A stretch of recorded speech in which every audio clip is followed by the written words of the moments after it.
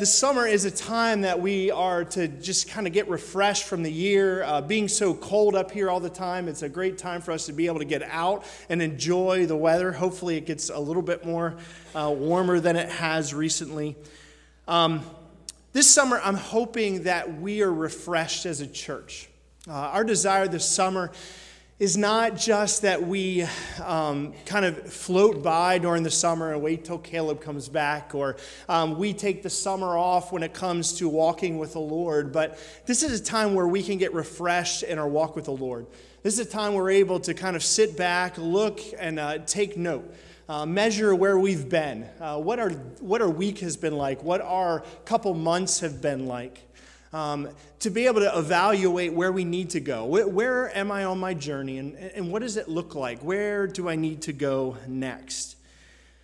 What we're, uh, as, as we like to look at refreshment, I know that as I say, I want to be refreshed in the Lord this summer. I'm not saying that it's going to be easy. Uh, all of you know that as you go on vacation, usually the, the hardest part of vacation is getting ready to go on vacation. Uh, you have to pack the bags and get everything else ready. As much as I enjoy going to the beach, sometimes I don't want to go to the beach because I have to get all the stuff packed and all the food and everything else and get prepared and plan to go. So, even when we get refreshed in the Lord, it takes a lot of work. Uh, but when we have the time, it's time for us to be able to look, uh, to breathe, but also to get into the Word, to, to spend time with Him. This summer, as elders, we kind of discussed what we wanted to do, and we felt like the Psalms is a place that we can go to. Uh, it's a place that we get refreshed and we have time to kind of look at things. We're going to be doing uh, for the whole sermon series, we're going to be doing uh, the book of Psalms. Uh, we'll do for 12 weeks. Uh, we're going to be hitting all different types of Psalms. And uh, I kind of look at Psalms, there's so many different types and different aspects of ways of looking at Psalms. I kind of look at Psalms as a taco. Um, not just a taco in the sense of like a, a, soft shell only in meat. I'm talking maybe you put a soft shell and a hard shell in with um, you have sour cream and, and, olives and onions and guacamole. Well, that, that's kind of gross to me, but Maybe some of you like that, but all of the different blends and aspects, there's so much inside wrapped up in Psalms uh, that it's just, you can't just uh, sit here in one introduction and just talk about it and that's it. Uh, there's so much more when it comes to uh, the Psalms. Uh, there's many of us who uh, sit here that I talk to about doing the Psalms and uh, the first thing I hear is, Oh, I love the Psalms. And they would tell me their favorite psalm, and they tell me what uh, God has taught them through. And I think a lot of us know the refreshment and the joy that Psalms has. We also know that there's times where we have to go through hard, uh, difficult decisions that we have to make as we walk through the Psalms. But there's so much that is uh, blended in the Psalms. Martin Luther says, It is therefore easy to understand why the book of Psalms is the favorite book of all saints. For every man on every occasion can find it in the Psalms, which, which fits his needs, which he feels to be as appropriate as if they had been set there just for his sake. In no other book he can find words to equal them, nor better words. There's this uh, unknown writer that wrote this about Psalms. I think this kind of gives a greater picture of what the Psalms is. It's this book is the mind of God, the state of man, the way of salvation, the doom of sinners, and the happiness of believers. Its doctrines are holy, its precepts are binding, its histories are true, and its decisions are immutable. Read it to be wise, believe it to be safe, practice it to be holy it contains light to direct you, food to support you, and comfort to cheer you. It is a traveler's map, the pilgrim's staff, the pilot's compass, the soldier's sword, and the Christian's character. Here, paradise is restored, heaven opened, and the gates of hell disclosed. Christ is the grand subject, our good, its design, and the glory of God, its end. It should fill the memory, rule the heart, and guide the feet. Read it slowly, frequently, prayerfully. It is a mine of wealth, a paradise of glory, and a river of pleasure. Follow its precepts, and it will lead you to the Calvary, to the empty tomb, to the resurrected life of Christ, yes, to glory itself for eternity. I think that wraps up just a greater picture of what the Psalms is. And I, I think as I talk today, it's not just about the Psalms. I think all of this can be about what the Word of God is. Uh, but there's something special about the Psalms when we look at it and, and how it grasps our heart. So, our question today is how do we approach the Psalms? As we spend this summer kind of looking at it together, we're going to be doing stuff together through it. I'm going to ask you to be a part of this all summer long. I'm not asking you just to come to a sermon on Sunday and listen to it, uh, but I want you to be interacting with the Psalms all summer, to be refreshed in the Word as a body. So, so what does this look like? How do we approach the Psalms? Um, how are we going to be refreshed by it? There's a couple points we're going to make, and we're going to kind of look at uh, our first uh, Psalms uh, as we walk through this. But the first point I want to make today is the Psalms is a book of instruction. We need to look at it and approach it like it is instruction. It's not a book of poems and, and nice sayings that we should glance on and move on to. Uh, some people will even say, uh, even famous uh, writers of the day or preachers have said that they wouldn't preach on Psalms because it's more of uh, poetry and different aspects that are difficult. Uh, but the Psalms is also instruction. It's God's word, just like every other part of the Bible. Uh, it's just as important as the first four, the first five books of the Bible. Uh, the most uh, one of the evidence of this that you see is uh, the book the psalms is book is broken up in five parts. Uh, as you'll see in your, your bible it'll kind of say 1 to 41 for the first, for half, first half. And at the end of each book you see that there's this doxology. Doxology is when um, it's kind of a short hymn just praising god and it kind of breaks up each book. But as you uh, kind of look at each book it doesn't seem it, it doesn't really seem like the books are very distinct. Like, you know, you can look at. Um, you can look at uh, Colossians and see where it's going. You can see uh, what different books have specific purposes. Well, when you look at the five books broken up, you can see David in, in a couple of them. There's praise focused on one, but it's not really focused on a, a specific uh, genre or a specific way, but the reason that they break it up in five, and this, the reason that they uh, decided to do this was because he wanted to remind us of the Torah, that the five first books, that the Psalms is no different from any other book. It's just like the Torah. It's just as important. It has the, the Genesis, the Exodus, Leviticus, Numbers, Deuteronomy. It's just as important. That's kind of the point and the reason that they put that there is that so that we can realize that this is instruction just like any other book. We don't change how we look at it. Uh, we, we look at things a little bit differently, but not in instruction. We still see it as important as everything else that we read in the Bible. Now, the other evidence that comes in uh, to play is the book of Psalms, uh, Psalms 1. Um, Psalms 1 is our introductory to the whole 150, uh, 150 Psalms. This is the first one. Uh, I'm not going to talk too much about it, but the, the first psalm and the second psalm, they say, are kind of blended together as one. They're very different, but there's uh, some bookends that kind of put them together. But this first book uh, I think it's always significant when you have an introduction, there's kind of a main point that it's trying to bring across. So, what is Psalms 1 doing? And as we look at this passage, it is about, again, it's about instruction, about God's word, uh, that as we hold on to it, we'll see the importance of it. So, it's warning us, it's preparing us, it's saying this is what, how you need to look at this psalm. So, this is one kind of aspect and approach that we have to approach the Psalms with. Now, I'm going to read just the first uh, part of Psalms. Uh, it says, Blessed is the one who, who does not walk in step with the wicked, or stand in the way of sinners, take or sit in the company of marker, mockers, but whose delight is in the law of the Lord, and who meditates on his law day and night. Now, how I look at this passage is kind of broken up uh, in different ways, uh, but I'm going to look at it as kind of two pathways. Uh, how many of you seen Amazing Race before? All right, raise your hands. I'm from a small church, so I'm used to kind of interacting a little bit more. So If you've heard of Amazing Race, Amazing Race is uh, this great show on TV. I guess it's great. I don't get to watch it as often, but it's people that run around the world having instructions that they have to follow, and they have to beat other people to be able to win a big prize. And this is kind of like this amazing race in a sense that we have this pathway of two people who have instruction manuals, uh, and that they're going to not only go on an amazing race, it's a short time, but for all of their lifetime. Uh, that it is an, a pathway that they're going to be taking.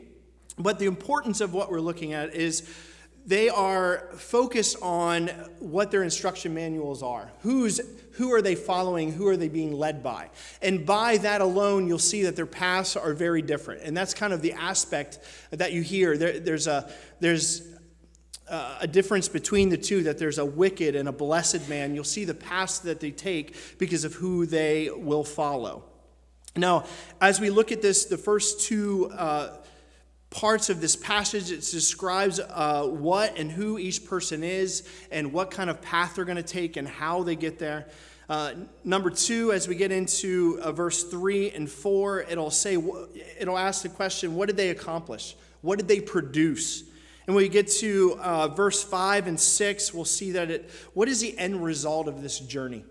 So, as we're going on this journey together, and we're thinking about a journey with God through the summer and for the, our whole life, we're going to look at this passage and see these two different people.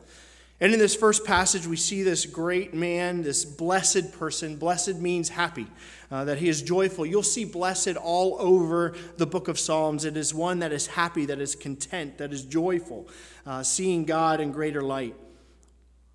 Uh, in this first passage, you see this blessed man. He is one who doesn't walk uh, in the step of the wicked, he doesn't stand in the way of sinners, he doesn't.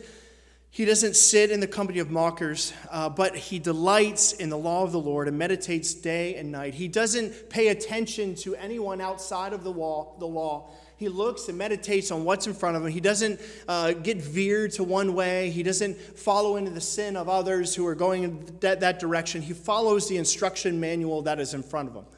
And as we look at, uh, as I talk about this, I'm talking about this instruction manual. This is kind of this instruction that we have. And as he's reading it, this is how he's following and, and kind of walking. I think it's important to see uh, this blessed man is in the, ver- in the next verse, sorry, um, it says, But those who delight in the law, Lord, who meditates on his law day and night.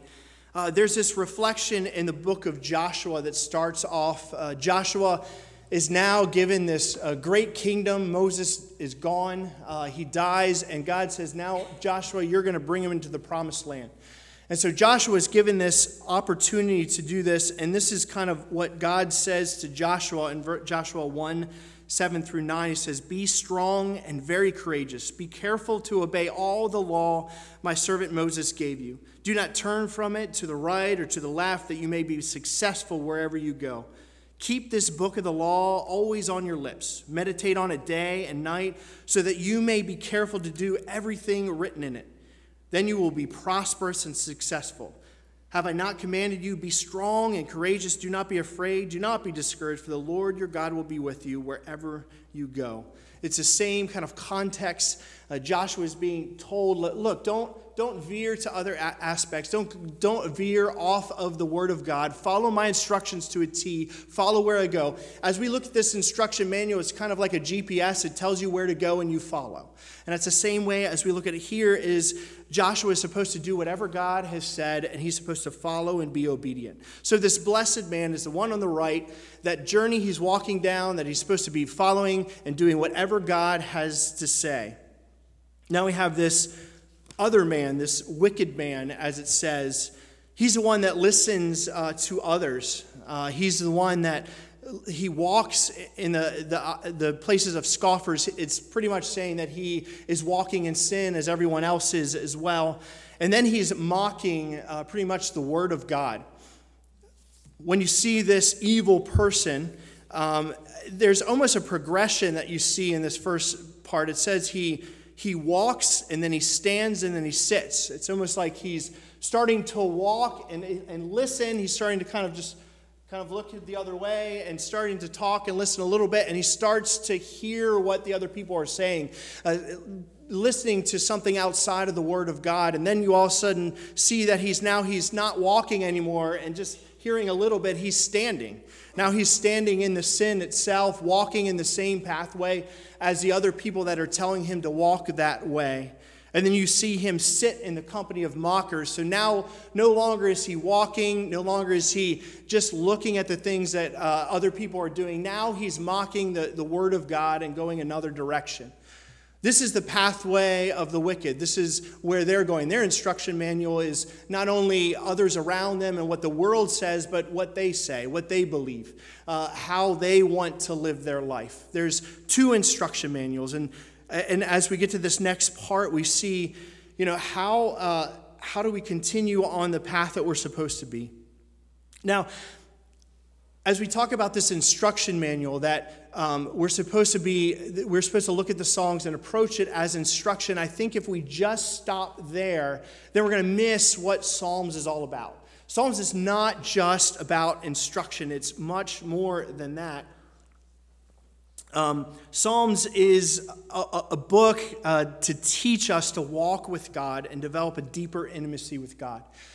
Um, I think John Piper said it the best out of anyone I've listened to when he uh, started the introductory to Psalms. Uh, he said that uh, the Psalms is thinking and feeling with God.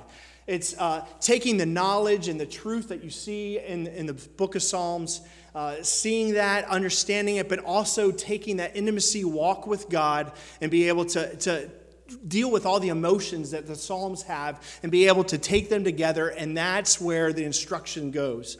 Uh, see, our instruction manual is not a manual that we just listen to the instruction, but it's living with the Almighty God who instructs us and takes us down that path. It's not alone, it's not by ourselves, it's not looking at the Word of God and getting a couple little things out of it and walking away from it, but it's about getting into the Word and sitting there with God and saying, Teach me. Teach me, Lord. Show me where you want me to go. It's a greater intimacy with God. And, and I promise you, if you do that in the book of Psalms, if you deal with the emotions and the different things that are going on uh, during this time and not just look at it and spend five minutes and walk away from it, but you allow it to kind of get into you, you will be changed. Uh, there's no way of going around it. I think what happens is if we, uh, what happens if you have an instruction manual and the instruction manual kind of gets you to the edge of a cliff and then uh, you look down to the cliff, and there's this great river that go- is rushing by, and there's these rocks over here, and then you see a waterfall. And you look on the instruction manual, and it says, jump. There's many times that God does that. In His Word, He challenges us to greater things. And there's a lot of times that it's easy for us to start to look at the Word of God and see, and we might read it for five minutes, and then we look for another way to go. We try to find the easy pathway to go where we need to go. And, and usually there is an easier way, an easier way in, in, in, in the sense of not dealing with it. Uh, we kind of see that path to the left that makes it easy, goes that winds down down to the ravine, walks right across. Uh, you know, you get across the river with no problem. You're able to get to the path that you're supposed to get to. It's easy. But see, God doesn't always do that that way. I think most of us know that. But as we look at the Psalms, we see that. Uh, there's times of lament. There's times where uh, he, he talks about judgment.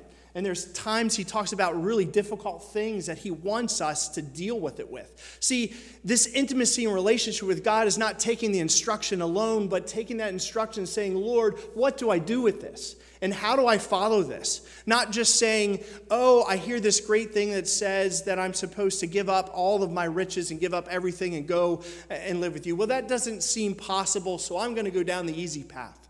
But have you sat down in front of that cliff and wrestled with God with those issues? I think that's what we should be doing with all of the book of the Bible, all the books of the Bible.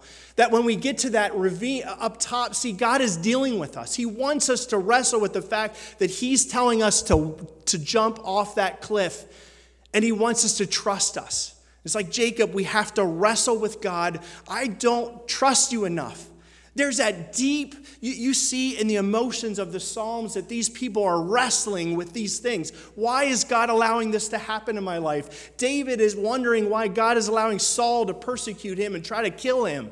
There's these wrestle, these issues and emotions that they're dealing with that we have to wrestle with. And so when we get to that cliff, God is calling us to take this instruction manual and take it in front of Him and walk with Him in it.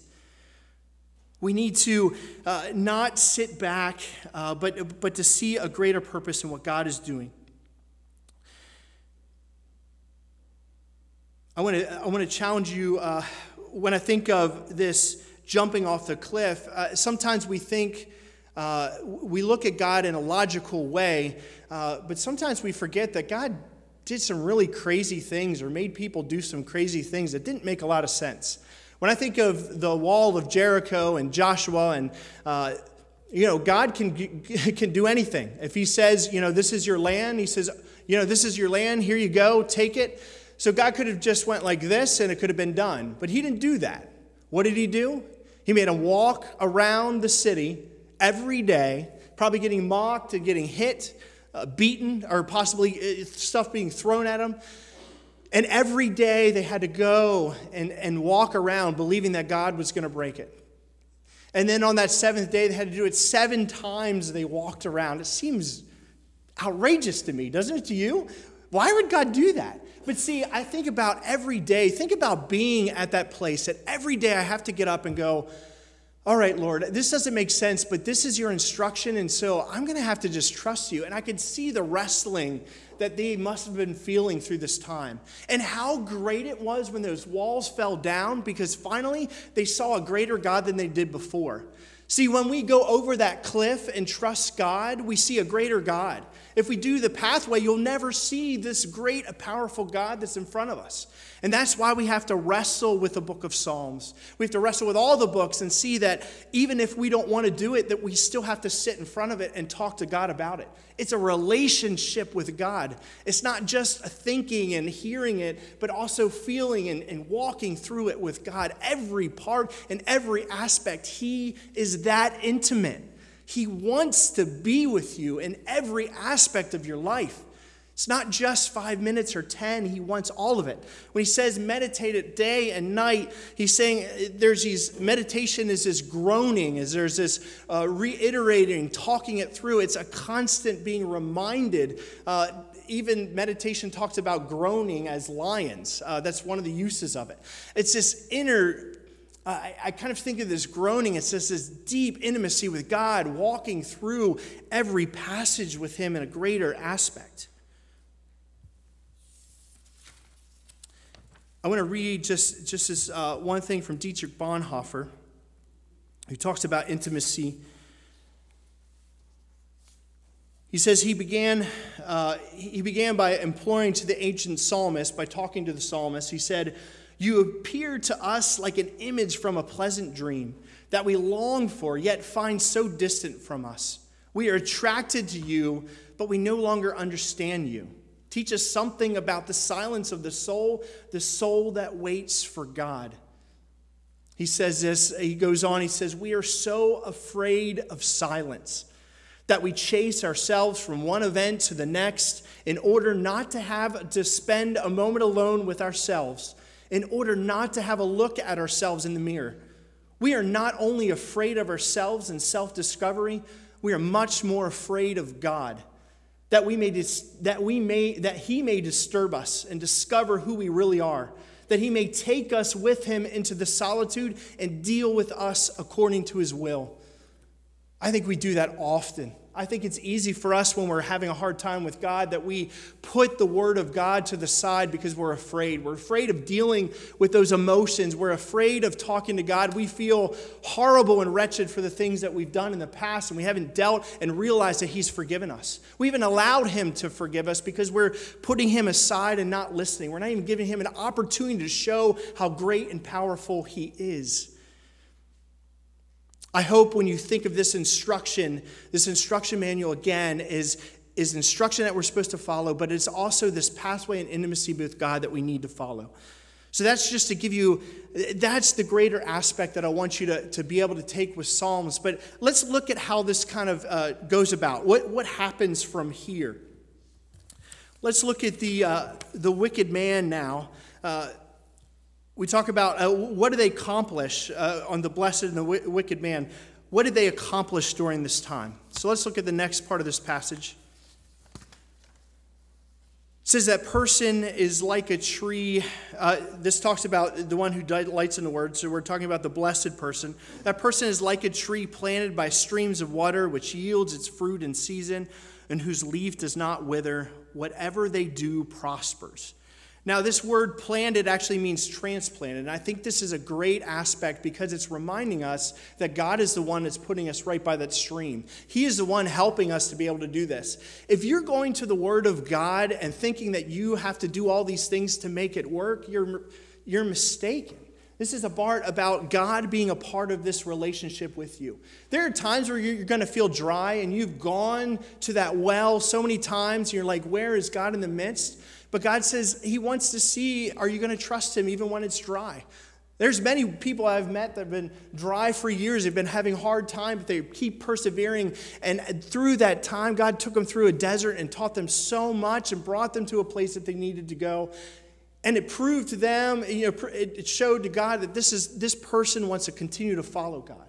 There's something greater in those aspects, that there is something that uh, getting in front of God, that God is the one that's going to help us to do it. If you're putting it all on yourself to do this and you're missing it, if you feel like God is not being present, then it's time to be able to sit in front and be honest with Him. Ask Him what is going on. I think God is big enough to deal with those questions. Look at, look at David. He wasn't afraid to tell him how he felt. He was angry. He told him. Uh, he was frustrated. He didn't understand why God was blessing the rich. He was honest with God. That's what God wants. He wants us to just pour our hearts out and just not be afraid to be honest with Him. If you feel like you're not where you are, sit down and wrestle with Him with that.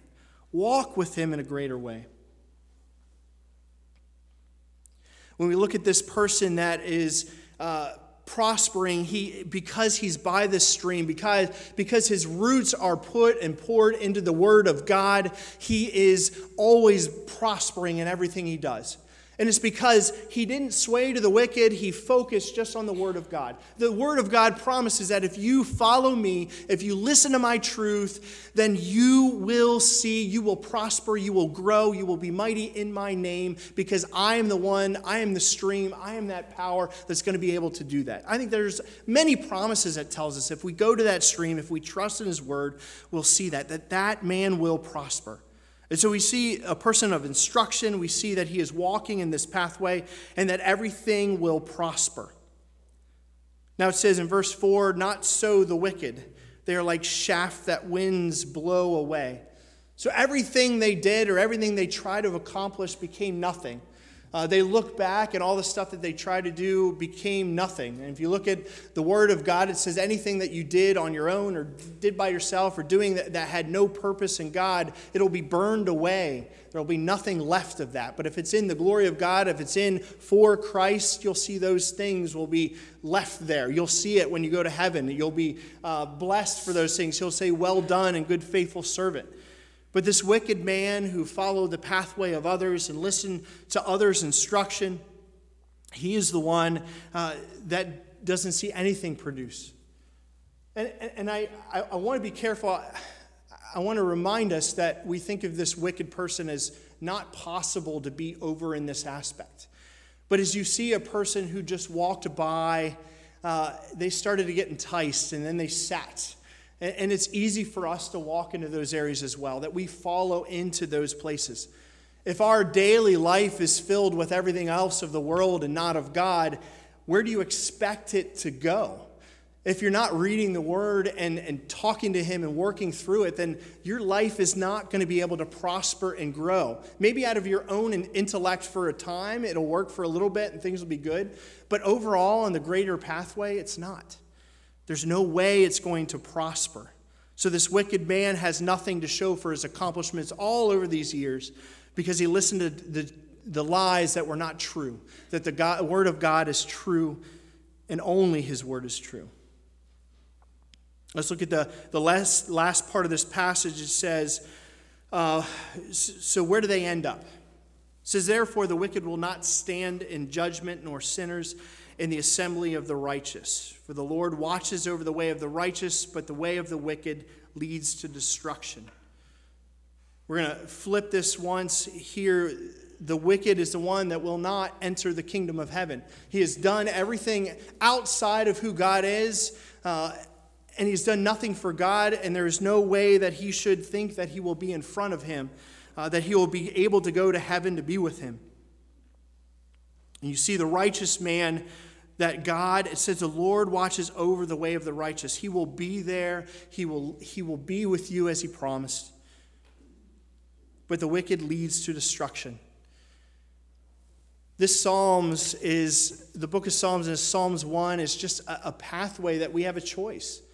We have a choice to be able to spend and read this word and see it the same way as God. He's saying, if you do this, if you take my words and make it a part of your life every day, then you will prosper. Not prosper in your way, but prosper in the way God has made and designed you to be.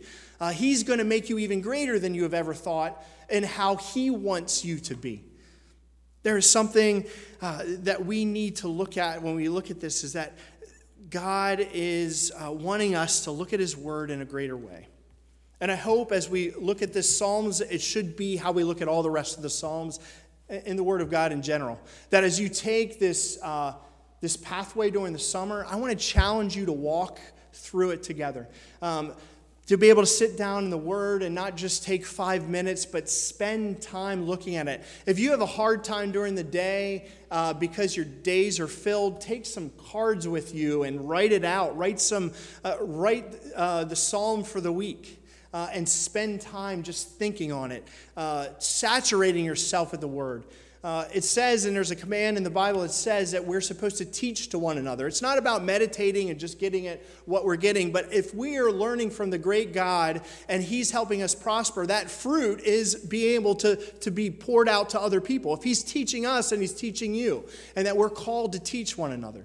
And so, as you are learning, you should be able to look and see who else you can, you know, ask the Lord, who can I use this wisdom that you gave me today? How can I use this to grow uh, others as well? This summer, um, we're going to take, we're going to give you a book uh, as you leave, uh, if you want it. It's uh, a little kind of a devotional that we put together.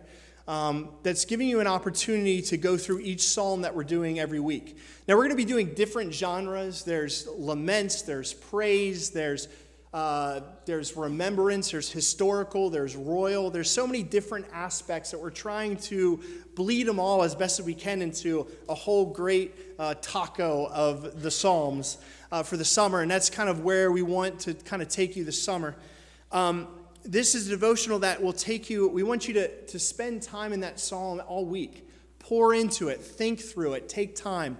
There's other psalms that kind of fit those categories as well. Uh, there's a genre and a background that give you a little idea about it. Uh, there's further reading that you can kind of think on the same aspects so that you can spend time with that during the summer. We have questions here to be able to ponder. These questions are not just based in one area or a specific thing I'm looking for, but there's times where I'm, we're asking for just I, I want you to get in the Word. Um, there's, there's opportunities at the bottom of this that give you, um, is it in the back? Yes, there's uh, research tools, online tools to be able to help you to look at the word more. I want you to investigate, take time. There's action points where I want you to take time and, and look at those things. There's times where it says, as Caleb talked about, you know, the Psalms is a place to be able to sit and worship and, and to praise God. That's a part of it as well, that we want you to do that, and we put that in here as well. Um, so, we're going to give this to you at the end of the service. We want you to spend time with it all week. I want you to be refreshed in God.